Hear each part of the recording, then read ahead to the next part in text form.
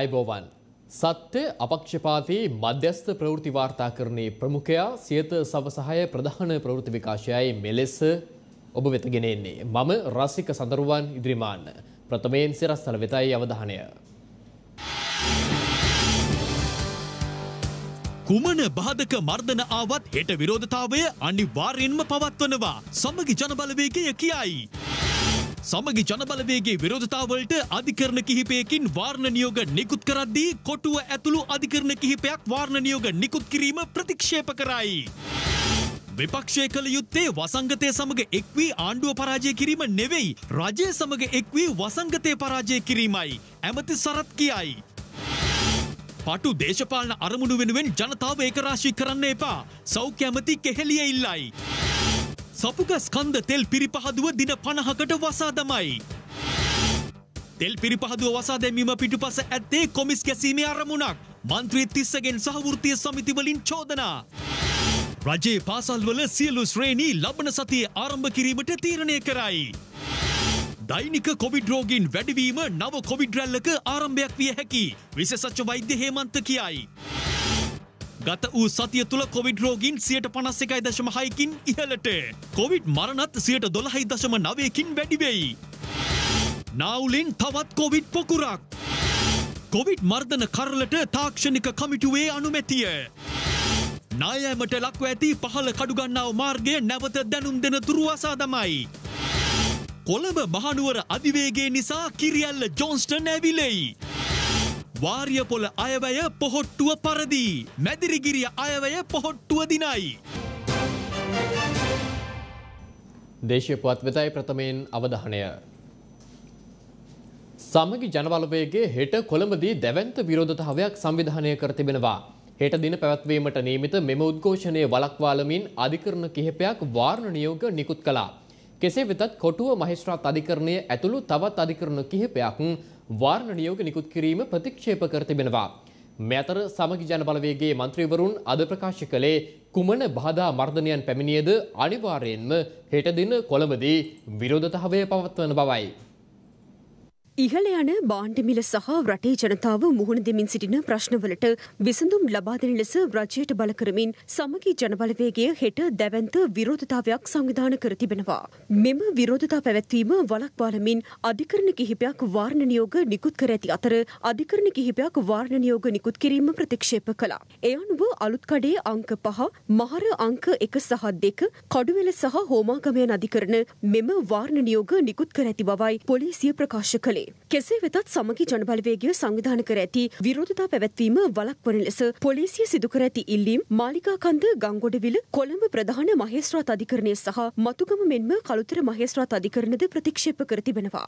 මේ අතර සමගි ජනබලවේගේ මන්ත්‍රීවරුන් අද විශේෂ මාධ්‍ය හමුවක් ඇඳවමින් ප්‍රකාශ කළේ කුමන බාධා මර්ධන පැමිණියද උද්ඝෝෂණයේ නිරතවීමට තීරණය කර ඇති බවයි. මේ රටේ අද ගොවිතැනට පාසලට අධ්‍යාපනයට ආර්ථිකයට මේ රජය කරලා තියෙන විනාශයට විරුද්ධව අපි විශාල උද්ඝෝෂණ ව්‍යාපාරයක් හෙට පවත්වනවා. මේ සඳහා ලංකාවේ සතර දික් භාගයෙන්ම දස දහස් ගානක් කොළඹට එන්න දැන් ලෑස්ති වෙලා ඉන්නේ. පවුලක් පෝෂණය වෙද්දී රටක් දුප්පත් වෙනවා. ලෝකේ අන්තිම අඩියට වැටලා තියෙන පොලිසිය ගිහිල්ලා බස් හිමියන්ට කියනවා සමගි ජන බලවේගයත් එක්ක ගියොත් බස් පර්මිට් එක රූට් පර්මිට් එක කැන්සල් කරනවා. ආණ්ඩුව හොඳටම බය වෙලා අද මර්ධනයට අත තියලා මහන්නේ පොලිසියයි මේ විදියට යොදාගන්න කියලා අපි අහනවා ආණ්ඩුවේ මර්ධනයට බිය වෙන්නෙත් නැහැ. අපි කරන්න පටන් ගත්ත වැඩේ කරන්න අවශ්‍ය කටයුතු කරනවා. ඒක අපේ උද්ඝෝෂණයක් ඒක ජනතාවගේ උද්ඝෝෂණයක්. ජනතාවගේ බඩගින්න ඉවසගන්න බැරුව කරන උද්ඝෝෂණයක්. ගොවියන්ගේ පෝර නැතුව වගා කරන්නට බැරුව කරන උද්ඝෝෂණයක්. පාරට බහින්න ඇරෙන්න වෙන කරන්න දෙයක් නෑ. මේකට දැන් ආණ්ඩුවට තියෙන එකම දේ තමයි මර්ධනය. දැන් මතක් කරලා තියෙන කොරෝනා එකපාර. දැන් කොරෝනා මර්ධනයට කියලා සෞඛ්‍ය අධ්‍යක්ෂක ජෙනරාල්ට ලියලා නොයෙකුත් තහංචි දාන්න. නියෝජ්‍ය පොලිස්පතිවරයා හැමෝම පොලිස් ස්ටේෂන් එකටම දන්නලා තියෙනවා හැමතැනම බැරිකේඩ් දාන්න. ඒකත් කොරෝනා හින්දාද? මේක පුදුම කොරෝනාවක් නේ එහෙනම් මේක තියෙන්නේ. මේ මොන නීති දැම්මත් මතක තියාගන්න. හෙට අපි කොළඹට එනවා. මේ ආණ්ඩුව පළවා හරින අරගලය අපි ආරම්භ කරනවා හෙටින්. ජනතාවගේ පීඩනය තරම මේ පාලකයා දැනගත යුතුයි. එහෙමනම් අපි අහනවා පොදුජන පෙරමුණේ සංවත්සරයේ තිබ්බේ කොහොමද? එහෙනම් අද මහා මාර්ගවල යන බස් රථවල මිනිස්සු යන්නේ කොයි විදියටද? එහෙනම් කොහොමද ජනාධිපති ගිහිල්ලා අධික ජනකායක් එක්ක කටින පිංකම් පවත්වන්නේ? ආණ්ඩුවේ മന്ത്രിවරු ගිහිල්ලා විවිධ සංවාද ගම ඇතුලේ පවත්වන්නේ? එක්සත් ජාතික පක්ෂය ලිප්ටන් වටරෝමේ මේ රැස්වීම පවත්වන්නේ. එතකොට ඒව ඩීල්ද? අපි ඉතින් පැහැදිලිව කියන්න කැමති මේ මර්ධනය යට කරන්න හම්බෙන්නේ අපි එන එක එනවාමයි. විශේෂයෙන්ම හෙට දවස හරි හොඳ දවසක්. ඒ දවස තමයි ජනාධිපතිවරයා පත් වෙලා එතුමාගේ දෙවැනි අවුරුද්ද සමරන දවස. අපි දත් කිව්ව සර්ට පළවෙනි අවුරුද්ද සර් ෆේල් කියලා. මේ මොහොත වෙන විට සර් ලංකාවේ ඔක්කොම පොලිසිය ගෙන්නලා උසාවි වලට ගිහිල්ලා රටේ මිනිසු මේ කියන හාල් වලට විරුද්ධව කිරිපිටි වලට විරුද්ධව සීනි ගෑස් තෙල් සිමෙන්ති පෝර ගසාකෑම් හොරකම් වංචාවලට විරුද්ධව පාරට බහින්න හදනකොට පිස්සු කෙලිනවා. බය වෙලා අපි අපේ ජනතාවට කියනවා මෙහෙම ඔළුව පහත් කරගෙන ගියොත් ඔළුවට උඩින් ගිහිල්ලා රාජපක්ෂලා Tamanට ඕන විදියට මෙට රට හූරාගෙන කන්න ඉඩ දෙනවද? එහෙම නැති වෙන්න සියලු දෙනා බය නැතුව මොන අභියෝග දැම්මත් හෙට උදේට පාරේ බස් එකේ නැගලා හරි මොන බාධකාවක් කොළඹට එන්න කියන ඉල්ලීම අපි මේ වෙලාවේ කරනවා. ඒ සඳහා සියල්ල සූදානම් කරලා තියෙනවා කියන කාරණාවත් අපි මේ වෙලාවේ මතක් කරනවා. ජනතා බලය ජනතාවගේ විරෝධය ජනතාව නැගිටලා එන එක මේ පොලිසි දාලා වෙන වෙන එකම්වල බය කරලා චන්ඩි දාලා මේවා යටපත් කරන්න බෑ. අද ආණ්ඩුව උත්සාහ කරනවා නම් මෙහෙම කරන්න පුළුවන් කියලා මම කියනවා මේ ආණ්ඩුවට තව දීර්ඝ කාලයක් මේ රටේ බලයේ ඉන්න අවස්ථාව ලැබෙන්නේ නැහැ. මොකද මේ තියෙන පීඩනයත් එක්ක අද වෙනකොට රට වටේම උද්ඝෝෂණ මතුවලා තියෙනවා. ඒ උද්ඝෝෂණයත් එක්ක ජනතා අරගලය ඉදිරියට එන එක ආණ්ඩුවට වළක්වන්න බෑ. දේශපාලන ප්‍රධාන විපක්ෂය හැටියට දේශපාලන පක්ෂයක් හැටියට අද අපිව මර්ධනය කරයි. මම ඉල්ලීමක් කරනවා මේ මාධ්‍ය ආයතන වලින් ඒ සියල්ල මර්ධනකාරී වැඩපිළිවෙල මේ රටේ ජනතාවට පෙන්වන්න. ඊළඟට එන්නේ මේ මාධ්‍ය ආයතන වලට. ඊළඟට එන්නේ අර සිරසට බෝම්බ ගැහුවා වගේ, සියතට බෝම්බ ගැහුවා වගේ මේ මාධ්‍යවේදීන් මායතන ආයතන වලට තමුන්නාන්සලට තමයි එන්නේ. පවතින කොවිඩ් ව්‍යාප්තිය හමුවේ මහජන ඒකරාශී කිරීම් සිදු කරන්න එපා යැයි සෞඛ්‍ය අමාත්‍ය කෙහෙලිය රඹුක්වැල්ල මහතා ඉල්ලීමක් කරනවා. සෞඛ්‍ය උපදෙස්වලට පටහැනිව උද්ඝෝෂණ සඳහා සහභාගී වන පිරිස් අධිකරණ නියෝග මත අතඩංගුවට ගැනීමට කටයුතු කරන බවයි මහජන ආරක්ෂක අමාත්‍ය සරත් වීරසේකර මහතා ප්‍රකාශ කළේ. සමග ජනබලවේගයම හෙට අනිද්දාත් මේ ලොකු උද්ඝෝෂණයක් කරන්න හදනවා. ඇයි මේ උද්ඝෝෂණ කරන්න හදන්නේ? ඉතින් රටක් දියුණු කරන්න නැත්නම් රටේ ජනතාවට සිත සලසන්නද නෑ? රෝගී ව්‍යාප්ත කළ නැවත වරක් මේ රට අගාධයට පත් කරන්න. ඉතින් ඒකට අපි පොලිසිය වශයෙන් ඉඩ දෙන්නේ නැහැ. අධිකරණයෙන් නියෝගයක් ලැබුණොත් අපි අනිවාර්යයෙන්ම ඒකට විරුද්ධව ඒ වගේ ජනරාශි වලට පොලිසියෙන් ඉඩ දෙන්නේ නැහැ. කවුරු කටමැද දෙදෙව්වත්. ඉතින් අත්‍යවශ්‍යම මේ වගේ පුද්ගලයෝ ඉන්න රටක් ගැන අපි අත්‍යවශ්‍යම ලැජ්ජා වෙන්න ඕනේ. විපක්ෂයේ කාර්යභාරී විය යුත්තේ අපි සමග තුලා මේ වසංගතය පෙරදිවිය මිසක් වසංගතය සමග එකතු වෙලා රජයේ පෙරදීම නෙමෙයි. දැන් මේගොල්ලෝ හදන්නේ ඒක එහෙම කරන්න. ඉතින් ඒක ඉතාම අවාසනාවන්ත තත්ත්වයක්. නෝ කවුරු කෙසේ කිව්වත් පොලිසිය බාර ඇමතිව හැටියට මම ඒකට ඉඩ දෙන්නේ නැහැ. අධිකරණයේ නියෝගයක් ආවොත් අනිවාර්යයෙන්ම ඒ ජනරාශී සහ නීති විරෝධී උද්ඝෝෂණ ජනරැලි අපි අනිවාර්යයෙන්ම ඒව නවත්තනවා නවත්තලා ඒව කරන මූලික වෙන අයට අපි අනිවාර්යයෙන්ම නඩු දානවා.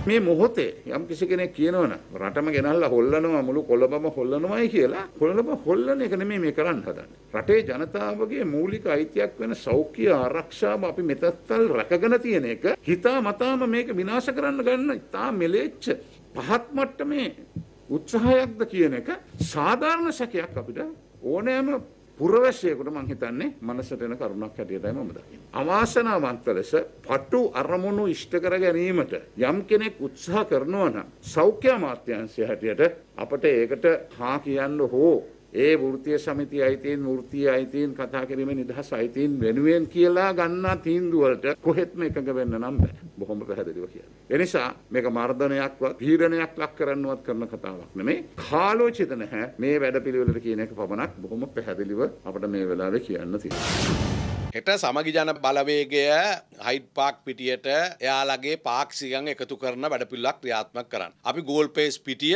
මුළු මිනිස්සුන්ගෙන් පුරෝපු මිනිස්සු අපි. මේක ඉතාම අවදානන් තත්ත්වයක්. විපක්ෂනම ප්‍රිජුව කියන්නේ. විපක්ෂ නායක සජිත් ප්‍රේමදාස මහත්තයා ඇතුළු ඒ සමගි ජනබලවේගයාගේ උත්සාහය තියෙන්නේ රටේ කොවිඩ් වැඩි කරන්න. කොවිඩ් රෝගින් ප්‍රමාණය වැඩි වෙනකොට මරණ සංඛ්‍යාව ඉහළ යනකොට ආණ්ඩුවට සිද්ධ වෙනවා රට වහන්. මොකද සිද්ධ වෙන්නේ? රටේ ආර්ථිකය කඩාගෙන වැටෙනවා මිනිස්සු කන්න නෑ කියලා පාරට බහිනවා. මේ කරන උද්ඝෝෂණයෙන් පස්සේ කොවිඩ් වැඩි වෙනවා නම් වැඩි වෙන්න හේතුව මේක. මේ හැම හැදෙන රෝගියෙකුටම හැම මිය යන කෙනෙකුටම වග කියන්න ඕන අනිවාර්යයෙන්ම මේ සමගි ජන බලවේග. මේක වලබුරු නිදහසක් කරගන්න ඕන. මම නම් පැහැදිලිව කියනවා මේ අයට විරුද්ධව නීතිමය වශයෙන් ක්‍රියා කළ යුතුයි විශේෂයෙන්ම සෞඛ්‍ය අමාත්‍යංශය. අධ්‍යක්ෂ ජෙනරාල්වරයාගෙන් ලිඛිත අවසරයක් නැතුව මේක ක්‍රියාත්මක කිරීම ගැන.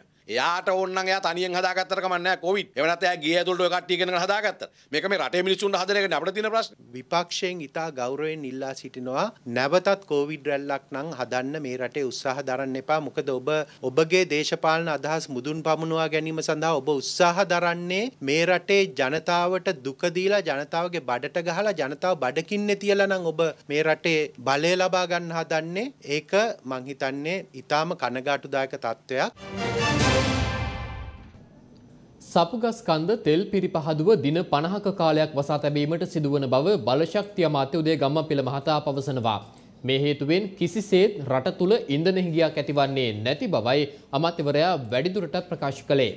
මෙතර අපේ පිරිපහදුව වසා දමමින් පිරිපහදු කළ තෙල් ගෙන්වීමට රජය කටයුතු කරන්නේ කොමිස් මුදල් ලබා ගැනීමේ අරමුණින් බවට කංජ තෙල් වෘත්තීය සමිති සහ සමගි ජනබලවේගය චෝදනා කරනවා.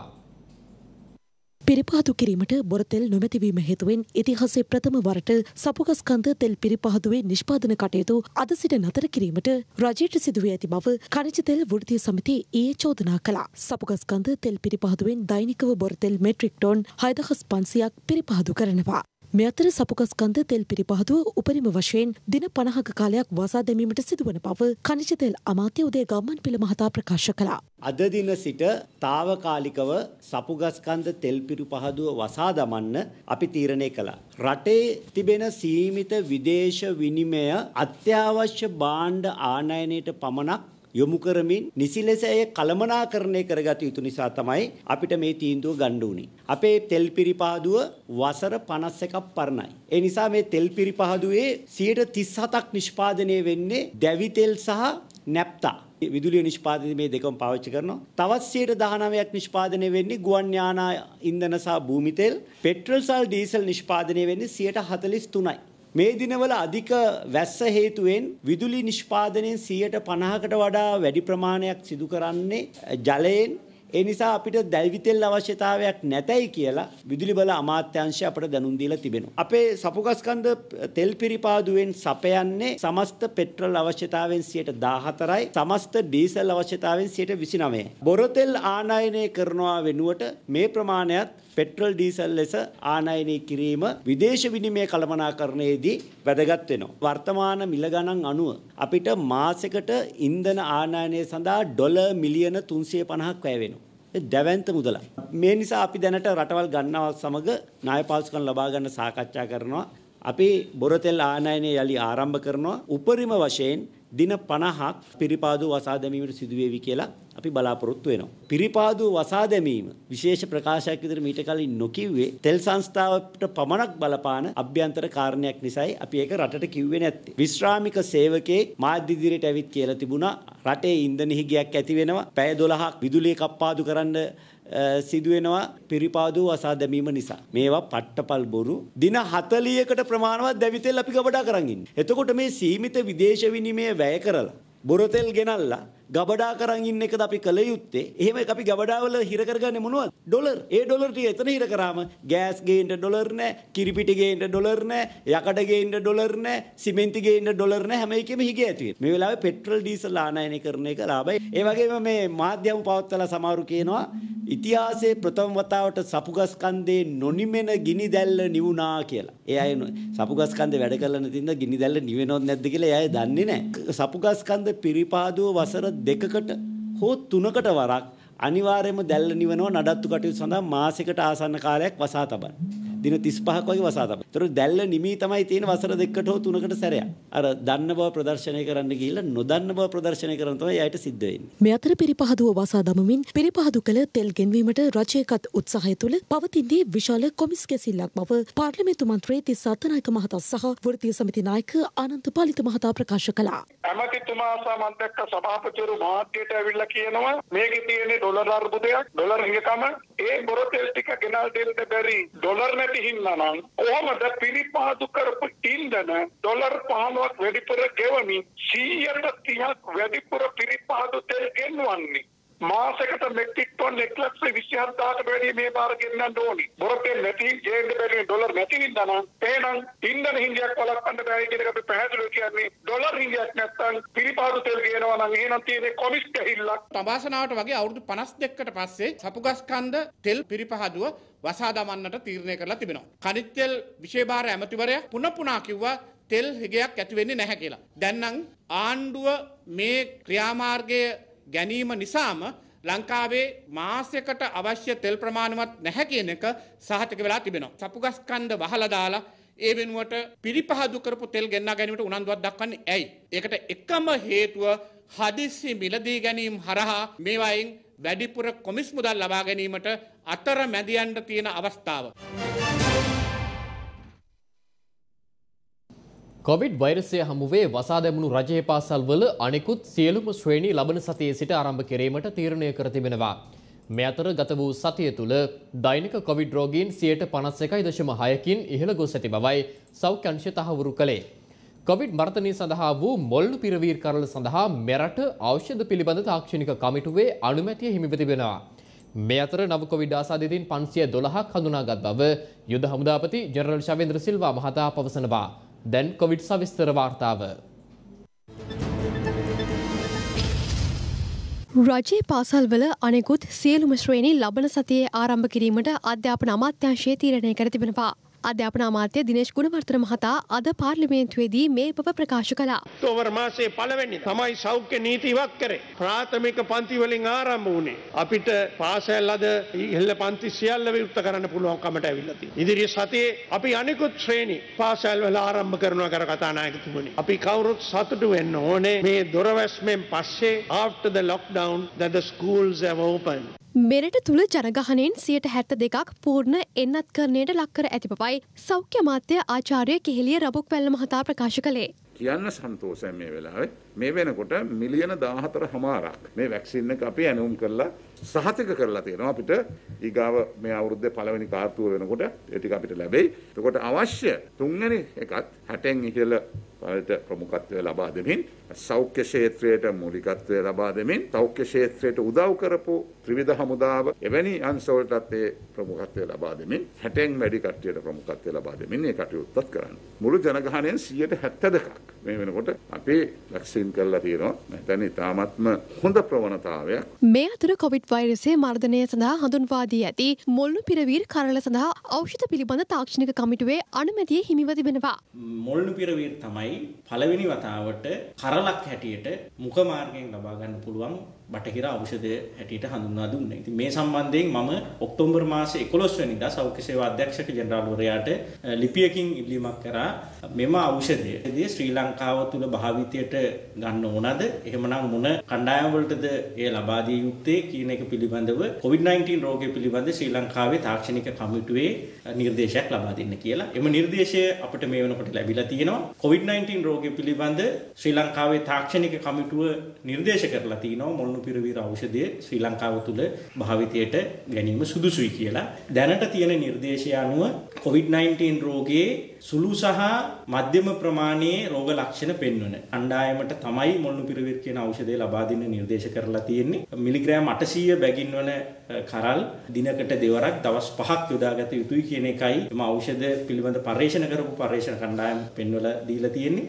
පසුගිය විසි නවවනදා සිට නොවැම්බර් මස හතරවනදා දක්වා වූ දින හත්තක කාලය තුළදී ප්‍රමාද වී වාර්තා කරන ලද කොවිඩ් වෛරස් ආසාධිතින් එක් දහස් තුන්සිය හතලිස් පස් දෙනෙකු වසංගතරෝග විද්‍යා ඒකකය ඊයේ වාර්තා කලා. ඒ අනුව ගත වූ දින හතක කාලය තුළදී මෙරටින් කොවිඩ් රෝගින් හයදහසකට අධික සංඛ්‍යාවක් වාර්තාාවී ඇති අතර එය මීට පෙර සතිය හා සැසඳීමේදී සියට පනස් එකයි දශම හයක වැඩිවීමක්. කොවිඩ් වෛරසය ආසාධිත මරණ එකසියතියකට අධික සංඛ්‍යාවක්ද පසුගිය සතිය තුළ වාර්තා වූ අතර එය සියට දොළහයිදශම නවයක වැඩිවීමක් බවටයි සෞඛ්‍යංශ තහවුරු කළේ. නවුල ප්‍රදේශයේ පිහිටි ඇඟලුම් කර්මාන්ත ශාලාවක සේවකින් දහතුන් දෙනෙකුට COVID-19 වෛරසය ආසාධනය වී තිබෙනවා. ඒ අදාළ කර්මාන්ත ශාලාවේ සේවකින් තිස් හත් දෙනෙකු සඳහා සිදු කළ PCR පරීක්ෂණයකින් අනතුරුවයි. ඒ අනුව ඔවුන්ගේ සමීපතම ආශ්‍රිතයින් නිරෝධායනය සඳහා යොමු කිරීමටයි සෞඛ්‍යංශ කටයුතු කර ඇත්තේ. දෛනික කොවිඩ් රෝගීන් ඉහළ යාම නව කොවිඩ් රැල්ලක ආරම්භයක් විය හැකි බව විශේෂඥ වෛද්‍ය හේමන්ත හේරත් මහතා පවසනවා. නිසි සෞඛ්‍ය මාර්ගෝපදේශ අනුගමනය කිරීම අත්‍යවශ්‍ය බවයි ඔහු පෙන්වා දෙන්නේ. නව රැල්ලක ආරම්භයක් කියලා හදිසියේ කියන්න බෑ. නමුත් ඒක වෙන්න බැරිකමක් නෑ කියලා අපිට ඕනෑම මොහොතක කියන්න පුළුවන්. ඒකට හේතුව තමා මේ මොහොතේ අපේ රෝගීන්ගේ අපි දකින මේ සංඛ්‍යාත්මක වැඩිවීම අපි මේ දින කීපයකට පෙර දින 10කට පමණ පෙර අපේ හැසිරීම් රටාවල ප්‍රතිඵලයක් හැටියට තමයි මේ ආකාරයට රෝගීන් වාර්තා වෙන්නේ. ඒ අනුව මේ අපේ මේ වාර්තා වෙන රෝගීන් සංඛ්‍යාව සෑම විටම අද හැසිරෙන හැසිරීම් රටාවේ ප්‍රතිඵලයක් හැටියට රෝගීන්ගේ සංඛ්‍යාව තීරණය වෙන්නේ තවත් දවස් කීපයකට පස්සේ එහෙමත් නැත්නම් තවත් 10ක් 15කට පස්සේ. ඒ නිසා අපිට මේ මොහොතේ මේ වැඩි වෙන දේත් ඒ වගේම ඉදිරිය ගැන කතා කරනකොට අද දිනේ හෝ හෙට දිනේ රෝගීන් හමුවීම දැන් පාලනය කරන්න බෑ. ඒ මොකද මේට කලින් වෙච්ච දේවල් නිසා. නමුත් අද අපිට තීරණයක් ගත්තොත් අපි අද හිතාගත්තොත් ඉදිරි දින 10 තුල රෝගීන් එහෙම නැත්නම් දව දින 10කින් 15කින් රෝගීන් වැඩිවීම වළක්වන්න අපිට පුළුවන්. ඒ සඳහා අපි කළ යුතු එකම දේ සෞඛ්‍ය පුරුදු නිසි පරිදි ආරක්ෂා කර ගැනීම. එක් ලක්ෂ නවදස් තුන්සිය හැත්තැතුනක් රෝගීන් නිවසේ සිට ප්‍රතිකාර ලබාගෙන තියෙනවා. මේ වන විටත් තුන්දා සටසිය දහතුන් දෙනෙක් රෝගීන් මේ සේවාව ඔස්සේ ප්‍රතිකාර ලබා ගන්නවා. කලින් තිබ්බට අමතරව ඇත්තටම රෝගීන් සංඛ්‍යාවේ යම් අඩුවක් තිබ්බා. දැන් ආපහු ටික ටික වැඩි වෙගෙන යනවා. නමුත් අපි සූදානම් වෙනවා කලින් වගේම එහෙම රෝගීන් සංඛ්‍යාව වැඩි වෙනවා නම් ඒ සඳහා ඒගොල්ලන්ව කලින්ම අඳුනාගෙන නිවෙස්ගත ප්‍රතිකාර වලට ලබා දීම සඳහා සුදුසුයි නම් ඒ අදාළ ප්‍රතිකාර ලබා ගැනීමටත් එසේ නොවන රෝගීන් ළඟේ අවශ්‍ය ප්‍රතිකාර සඳහා රෝහල් වලට යොමු කිරීමටත් සෞඛ්‍ය මාර්ගෝපදේශ පිළිපැදීම කොවිඩ් මර්ධනයට ඇති හොඳම මාර්ගයයි. කොවිඩ් මර්ධනයට විවිධ ඖෂධ සොයා ගැනුණත් රෝගයෙන් ආරක්ෂා වීමට නම් ඔබේ හැසිරීම ඉතාමත් වැදගත්. කොවිඩ් වලින් ජීවිත ආරක්ෂා කර ගැනීම පිළිබඳ අදත් අපිව දැනුවත් කරන්නේ කායික රෝග විශේෂඥ වෛද්‍ය ලලිත් ඒකනායක මහතා. කොරෝනා රෝගය යළිත් හිසෙසුවීමට පටන් අර මේක සුබදායක දෙයක් නොවේ. නමුත් සුබදායක ආරංචිය තමයි මෙතෙක්කල් ප්‍රතිකාරයක් සොයාගෙන නොතිබුණු කොරෝනා වෛරසයට දැන් දැන් අලුත් ප්‍රතිකාර සොයා ගැනීමෙන් පවතිනවා. මොල්නොපිරවීන් AT527 පැක්ස්ලොවිඩ් කියලා මුකෙන් ගන්නා ප්‍රතිවර්ග තුනක්. ඒ වගේම දැනටමත් අපි එන්නතක් හැටියට භාවිතා කරන රෙම්ඩිසිවිර් කියන ఔෂධය ඉතා සාර්ථකව භාවිතා වන කැසිරිසිමබ් සහ ඉම්ඩිමබ් කියන ඇන්ටිබොඩි කට්ටලය. මෙන්න මේ ඖෂධ කොරෝනා වෛරසය සෛල තුළට ඇතුළු වීම සහ සෛල තුළ වර්ධනය වීම වළක්වන. එම නිසා මේ ඖෂධය මූලික අවස්ථාවේ රෝගීන්ට දුන්නාම සංකුලතාවයන්ට ඇතිවීම, රෝහල්ගත වීම සහ මිය යෑම 150කින් පමණ අඩු වෙනවා. නමුත් මේ සියලුම ඖෂධවල නිෂ්පාදන පිරිවැහි ඉහළ එම නිසා මේ ඖෂධ මිලයි. එම නිසා සමස්තයක් ඇටයට කොරෝනා වෛරසය සැදුණු සියලුම පුද්ගලයන්ට මූලික අවස්ථාවලින් දීමට හැකියාවක් නැහැ. එම නිසා හොඳම දේ තමයි මේ රෝගේ හදා ගැනීම සහ පැතිරීම වළක්වා ගැනීම එය කළ හැක්කේ අපිටයි. මොකද මේ වෛරසය නිෂ්පාදනය කිරීම සහ බෙදහැරීම කරන්නේ මනුෂ්‍යයා විසින්. එම නිසා මේ ලැබී තිබෙන නිදහස වගකීම් සහිතව හැසිරීමෙන් ඔබගේ ගමන් බිමන් දැඩි ලෙස සීමා කිරීමෙන් නැවත කොරෝනා රැල්ලක් එහෙම වළක්වා ගැනීමේ සැනසීම ළඟා කර ගන්නවාද එහෙම නැත්නම් මේ ලැබී තිබෙන නිදහසින් මත් වෙලා වගකීම් විරහිතව හැසිරීමෙන් වෙනසීම ළඟා කර ගන්නවාද කියන එක තීරණය කළ යුත්තේ ඔබම. විසර්ජන පනත් කෙටුම්පත දෙවන දින විවාදය අද පෙරවරුවේ ආරම්භ වුණා. විවාදයට ප්‍රථම මහනුවර අධිවේගී මාර්ගය සම්බන්ධයෙන් විපක්ෂී ප්‍රධාන සංවිධායක ලක්ෂ්මන් කිරියල්ල මහතා සහ අමාත්‍ය ජෝන්ස්ටන් ප්‍රනාන්දු මහතා අතර උණුසුම් වාද විවාද ඇති වුණා. ඉන් අනතුරුව විවාදය ආරම්භ කරමින් පාර්ලිමේන්තු මන්ත්‍රී ලක්ෂ්මන් කිරියල්ල මහතා ප්‍රකාශ කළේ රටේ ආර්ථික ගැටලු වලට විසඳුම් ලබා දීමට ජාත්‍යන්තරය සමග සාකච්ඡා කරන ලෙසයි. රජයෙන් ඉල්ලීමක් කරනම් කොළඹ හනුවර අධිවේගී මාර්ගයේ මීරිගම කුරුණෑගල කුක්ස විවෘත කරන්න කියලා. මේ අධිවේගී මාර්ගය අපි මේ මාසේ විවෘත කරන්න බලාපොරොත්තු වෙනවා. තමුන්නාන්සේලාට අඩු ගානේ නුවර දින පාරවල් ටිකවත් හදන්න බැරි වුණා. බිලියනයක් වැඩියෙන් දුන්නා කොන්ත්‍රාත් එක. නුවරට ඊළඟ අවුරුදු දෙකෙන් සම්පූර්ණ නුවරට යන්න පුළුවන් විදිහට අධිවේගී මාර්ගය අපි හදනවා. මේ කෑල්ල අපි විවෘත කරනවා. අපි බාර දෙනකොට 190ක් ඉවර කරලා බාර දුන්නේ. ඒක තමයි යථාර්ථය. ඒක අගමැතිතුමා පිළිගන්න තියෙනවා. මුදල් නැමැතුමත් නැහැ. මොකද්ද මේ මුදල් නැමැතිතුමා එන්නේ නැහැ. අපි කාටද කතා කරන්නේ? මුදල් අමාත්‍යංශය වෙනුවෙන් මෙතුමාට යම් කිසි පැහැදිලි කර ගැනීමක් අවශ්‍ය නම් අපි ඒකට සූදානම්. නෑ විපක්ෂ මන්ත්‍රීවරු කිය දෙන්නේ මේ හතර දෙනෙක් ඉඳලා මෙතුමා හොයනවා මුදල් අමාත්‍යාංශය වෙනුවෙන් කවුද ඉන්නේ කියලා. මම ප්‍රශ්නේ අහන්නේ මට උත්තරයක් දෙන්න පුළුවන් කෙනෙක්ගේ. හාල් පහළුවන්ගේ ප්‍රශ්න අහන්න මම සූදානම් නැහැ. අද ගැන අපි වාද නොකර එතුමාට ආරාධනා කරමු හෙට ඉඳන් මෙහාට ඇවිල්ලා ඉන්න කියලා. බොහොම ස්තුතියි. ඒක මේ ණය ගෙවන්නේ කොහොමද? ඒකට උත්තරයක් නැහැ. ජාත්‍යන්තරත් එක්ක කතා කරලා මේ ණය ටික රීෂෙඩියුල් කරගන්න. දැන් මේ අවුරුද්දේ දේපල වික්කා. ඊළඟ අවුරුද්දේ මොනවද විකුණන්නේ? මම දැක එක කාන්තාවක් කියනවා අපේ රට විකුණනවා අපිත් එක්ක විකන ඉවරයි කියලා. මුදල් ඇමතිතුමා උට්ටාන වීරයෙන් උට්ටාන අයවැයක් රටට ලබා දීලා තිබෙනවා. එක්සත් ජනපද ඇමරිකාවේ තමන්ගේ ණය සීමාවල් වැඩි කරන්න අවසර ගත්තා. මේගොල්ලන් කතා කරනවා ඒගොල්ලන්ට පුළුවන්ලු ගිහිල්ලා සල්ලි අරන් එන්න. වීලු කතා. මේ ආණ්ඩුව කොතරම් බංකොලොත්ද කිව්වොත් හොරසල්ලිත් ගත්ත අයවැය හිගේ පීවන්න. ලැජ්ජයි.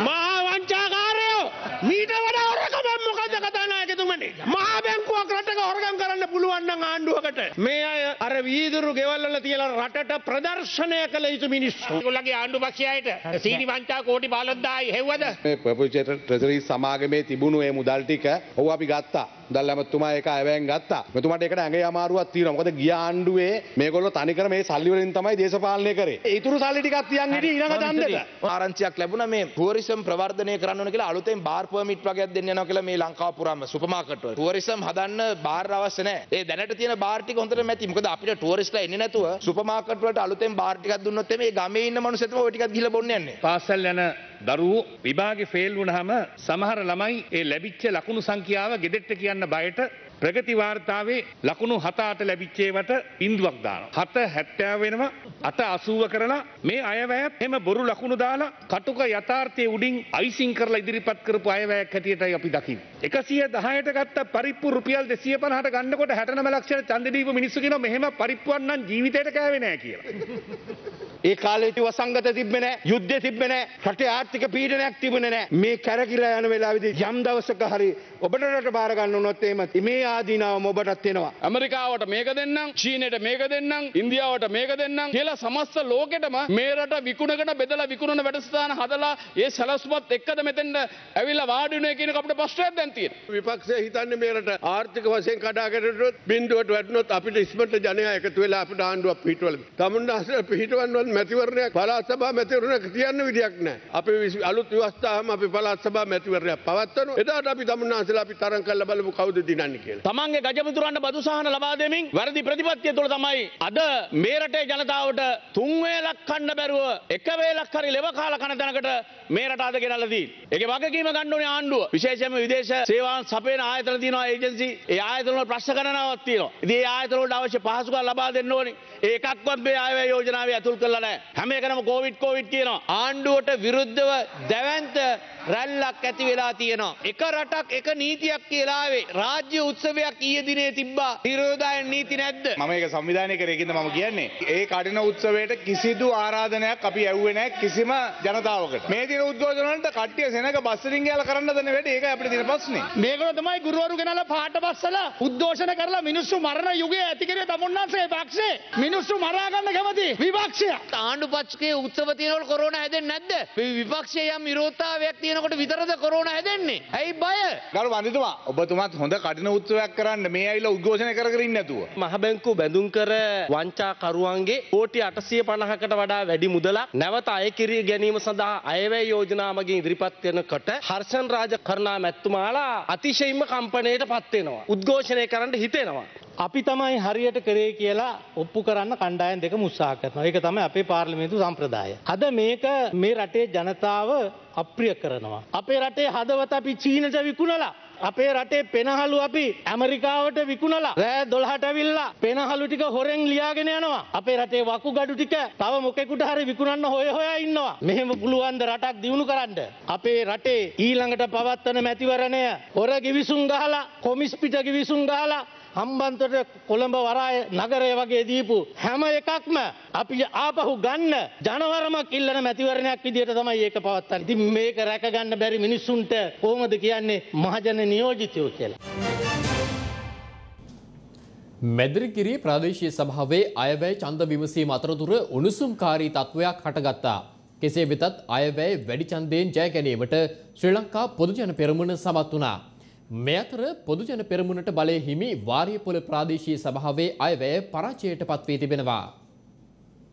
දෙදහස් විසි දෙක වර්ෂය සඳහා මැදිරිගිරිය ප්‍රාදේශය සභාවේ අයවැය චන්ද විමසීම අද දින පැවැත්වුණා. එම අයවැය වැඩි චන්ද පහකින් සම්මත වී තිබෙනවා. එහිදී අයවැයට පක්ෂව චන්ද දහටක් හා විපක්ෂව චන්ද දහතුනක් හිමි වී තිබුණා. මෙහිදී විපක්ෂ මන්ත්‍රීවරුන් රහස් චන්ද විමසීමක් පවත්වන ලෙස ඉල්ලා සිටි අතර එහිදී උණුසුම් තත්ත්වයක් ඇති වුණා.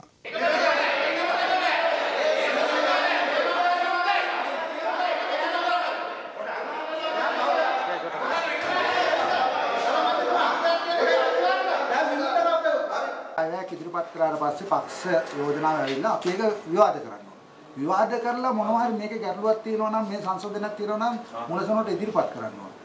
ඒ සම්මත කරන්න ඕන කාල සීමාවේදී විරුද්ධයි කියලා එක්කෙනෙක් යෝජනා ස්ටෙප් කරන්න නැතුව පුජ්‍යලෙන් නැගිටවල මේ අපි විරුද්ධයි රාජ්‍ය ඡන්දයක් ඕනේ කියලා කිව්වට එහෙම දෙන්න බෑ පනතත් එක්ක.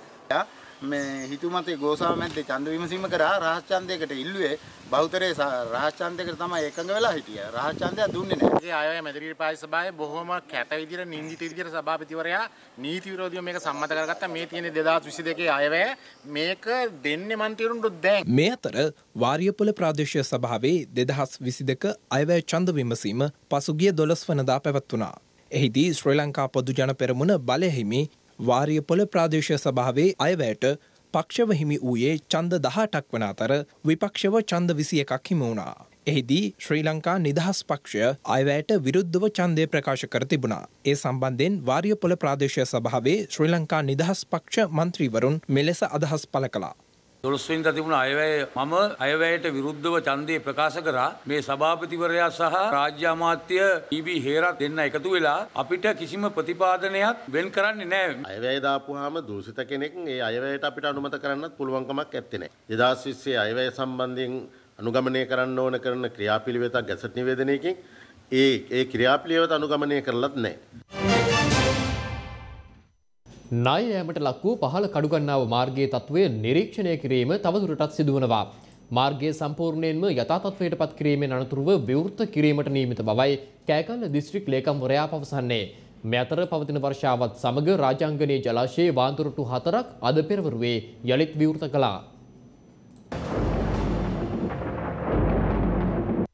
අයහපත් කාලගුණ තත්ත්වය සමග පසුගියදා පහළ කඩුගන්නාව ප්‍රදේශයේ මාර්ගයේ නායයාමක් සිදුනා. පහළ කඩුගන්නාව ප්‍රදේශයේ එම නායෑම සම්බන්ධයෙන් ගොඩනැගිලි පර්යේෂණ ආයතනය ඇතුළු ආයතන අකණ්ඩව පරීක්ෂණ පවත්වමින් සිටිනවා.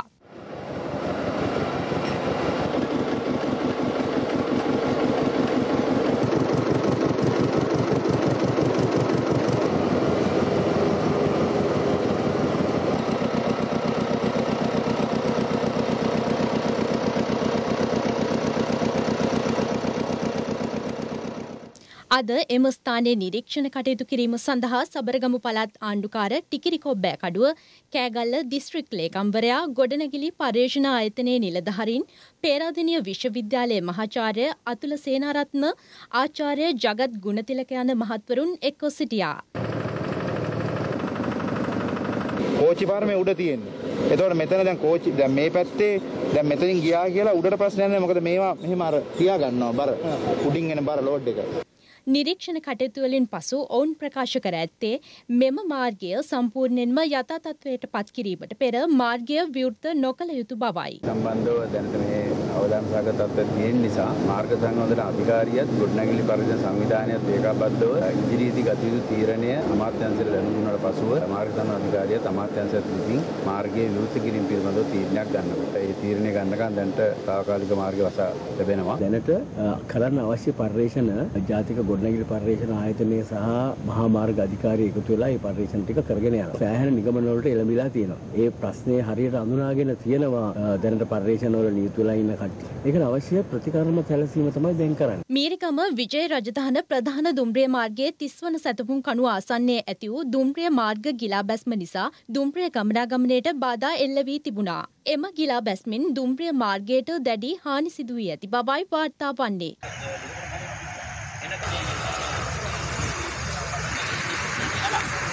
මාර්ගය යථාතත්වයට පත්කිරීම සඳහා කටයුතු ආරම්භ කර ඇති අතර තාවකාලික පාලමක් යොදා ගැනීමට කටයුතු කර ඇති බව වැඩිදුරටත් වාර්තා වනවා. පවතින වර්ෂාවත් සමග හැටන් නුවරඑළිය ඇතුළු ප්‍රදේශ රැසක අද අලුයම සිට ඝන මීදුම් තත්වයක් ඇතිවීම හේතුවෙන් රථවාහන ගමනාගමනයට බාධා පැමිණ තිබුණා.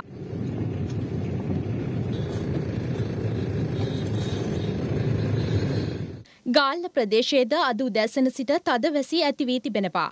පවතින අයහපත් කාල්ගුණ තත්ත්වය සමග දීවර කටයුතු වලටද බාධා පැමිණ ඇති බවයි වාර්තා වන්නේ.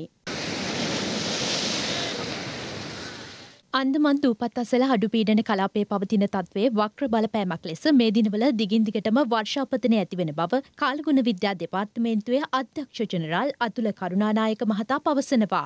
මේ ඒ පිළිබඳව අදහස් දක්වන ඒ මහතා. විශේෂයෙන්ම මේ වර්ෂාපතනයේ උදේ කාලේ සමහර පළාත්වලට ඇතිවෙන්න එක හේතුවක් තමා දකුණු අන්දමන් දූපත් අසල තිබ්බ අඩු පීඩන කලාපයේ දැන් පීඩන අවපාතයක් වෙමින් උතුරු අන්දමන් දූපත් අසලට ළඟා වෙලා තියෙනවා. දීවර ප්‍රජාවට විශේෂයෙන් දෙන්න තියෙන කංකසන් තුරේ ඉඳන් පුත්තලම හරහා ගාල්ල දක්වා තියෙන වෙරළබඩ තීරයට සන්ධ්‍යා කාලයේ හෝ රාත්‍රී කාලයේ වැසි හෝ ගිගුරුන් සහිත වැසි තත්ත්වයන් නිර්මාණය වීමේ හැකියාවන් තියෙනවා. කෝටි දහටක් වටිනා කොකේන් මදුරව්‍ය තොගයක් සමග සැකකරුවෙකු කට්නායක ගුවන්තොටුපලේදී රේගු මදුරව්‍ය පාලනංශය භාරයට ගෙන තිබෙනවා. කෝටි දහටක් වටිනා කොකෙන් මද්‍රව්‍ය තොගයක් මෙරටට ගෙනා පුද්ගලයෙකු අද අලුයම කටුනායක ජාත්‍යන්තර ගුවන් තොටුපලේදී රේගු මද්‍රව්‍ය පාලනංශය භාරයට ගෙන තිබෙනවා.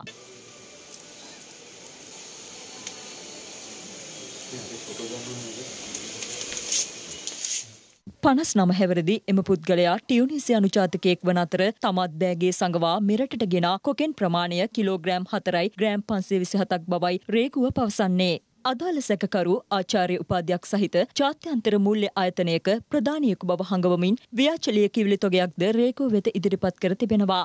කටුනායක ජාත්‍යන්තර ගුවන් තොටුපළ තුළ මෙතෙක් සිදු කළ විශාලතම කොකෙන් වැටලීම මෙය බවයි රේගු මද්‍රව්‍ය පාලනාංශය ප්‍රකාශ කළේ. අපරාධ පරීක්ෂණ දෙපාර්තමේන්තුවට ලැබුණු පැමිණිල්ලකට අනුව ප්‍රකාශයක් ලබාදීම සඳහා සිරිල් ගාමිණී ප්‍රනාන්දුපියතුමන් අද එම දෙපාර්තමේන්තුව වෙත පැමිණියා. ඒ අනුව පැය හතක පමණ කාලයක් ප්‍රකාශ ලබාදීමෙන් අනතුරුව සිරිල් ගාමිණී පියතුමන් අපරාධ පරීක්ෂණ දෙපාර්තමේන්තුවෙන් අද පසුරුවේ පිටව ගොස් තිබෙනවා.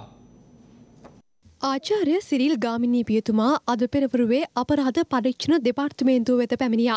ඒ පාස්කු ප්‍රහාරය සම්බන්ධයෙන් සිරිල් ගමිණී පියතුමා විසින් සිදු කළ බව කියන ප්‍රකාශයකට අදාළව සිදු කළ පැමිණිල්ලකටයි.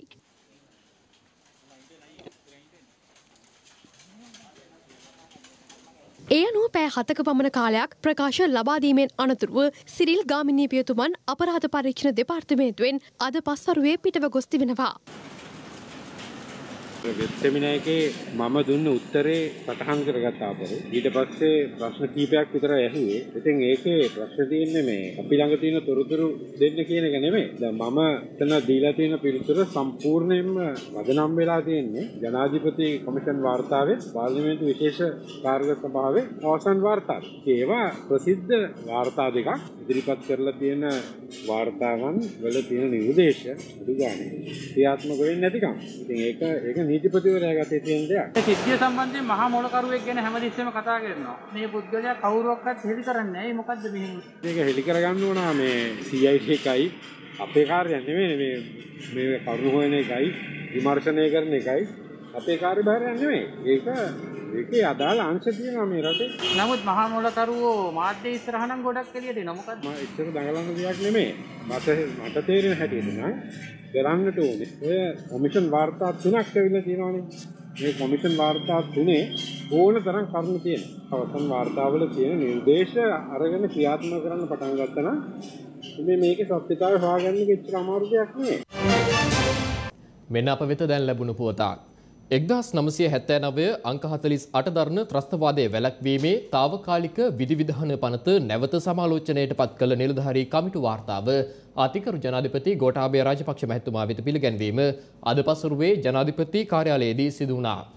එහි සභාපති ආරක්ෂක ලේකම් විශ්‍රාමික ජෙනරල් කමල් ගුණරත්න මහතා විසින් වාර්තාවේ පළමු පිටපත ජනාධිපතිතුමා වෙත පිළිගැන්වා. ඒත් සමගම අප වෙත ලැබුණු තවත් පුවතක් දැන්. ඊයේ දින සිදු වූ කොවිඩ් මරණ විසි එකක් පිළිබඳව තොරතුරු වාර්තා වුණා. එය අනුව මෙරට තුළ සිදු වූ සමස්ත කොවිඩ් මරණ සංඛ්‍යාව දාහතර දහසේ සීමාව ඉක්මවා ගියා. ඒත් සමගින් සියත සවසහය ප්‍රධාන ප්‍රවෘත්ති විකාශය අවසන්. යළිත් හමුවෙමු අපගේ රාත්‍රියේ ප්‍රවෘත්ති විකාශයත් සමගින්. ඔබට සුබ සන්ධ්‍යාවක්. දිනපතා අලුත් වීඩියෝ සහ ප්‍රවෘති නැරමීමට ඉහත බටන එක කලික් කර සියත TV සබස්ක්‍රයිබ් කරන්න.